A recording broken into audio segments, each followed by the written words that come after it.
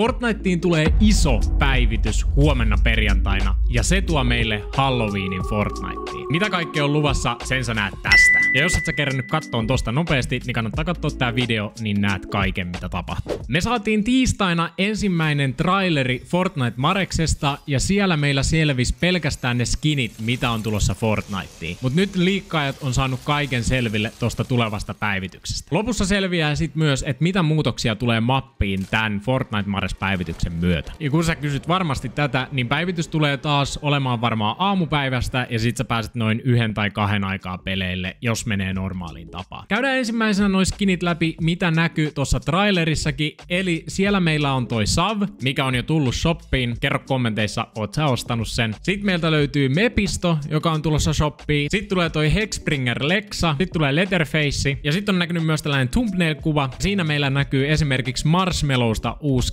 skinimuoto. Kyllähän siellä näkyy vaikka mitä kaikkea muuta. Kerro sun MP näistä skineistä tuo kommenteissa myöskin. Mutta tossa ei todellakaan ole vielä kaikki skinit, mitä on tulossa tämän Fortnite Mares päivityksen mukana. Ja sit meillä on tulossa esimerkiksi uusi mytikki, mulla on paljastuksia Lego Halloweenista, mitä mappimuutoksia tulee tapahtumaan, ja vähän Chapter 2 taas lisätietoa. Käydään ensin Chapter 2 lisätiedot, ja sen jälkeen siirrytään takaisin tähän Halloweeniin. Niin kuin varmasti tiedätte, OG Chapter 2 on tulossa takaisin, ja se tulee toinen päivä marraskuuta. Jos et sä tiennyt tätä, niin silloin mä tiedän, että sä et tilaa mua vielä, joten laita mut nyt tilaukseen ja laita ne ilmoitukset sieltä päälle, niin sit säkin tiedät, koska Chapter 2 on tulossa. Ja tämän päivityksen mukana saattaa tulla ensimmäinen teaseri tosta Chapter 2.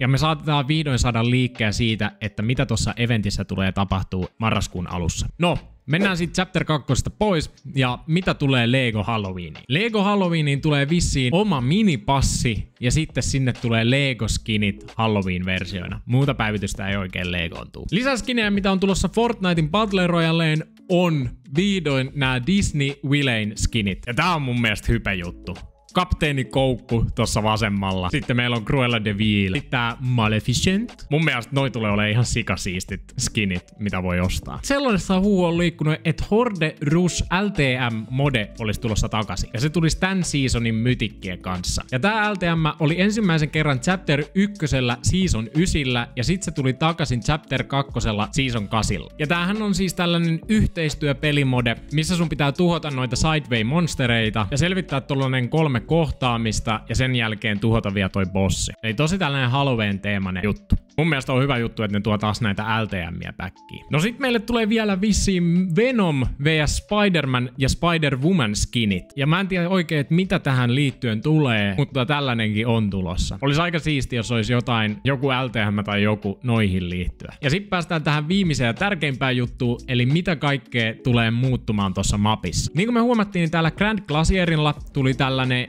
ihme ns rifti tai tällainen juttu. Samoin tää tuli Bravles Battlegroundiin, huomat tästä.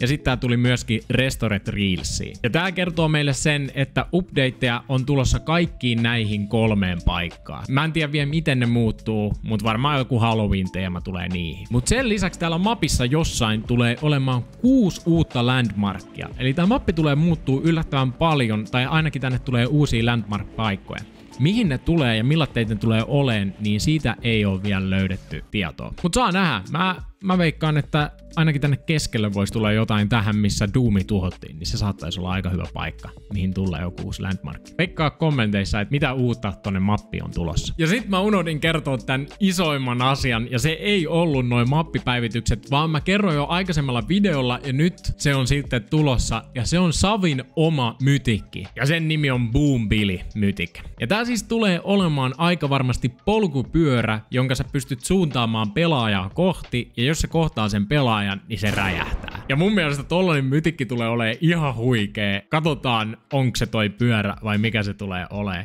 Mut siistiä, että Savi saa noin ison kollapin. Muista kertoa sun MP tästä päivityksestä ja mitä sä odotat eniten.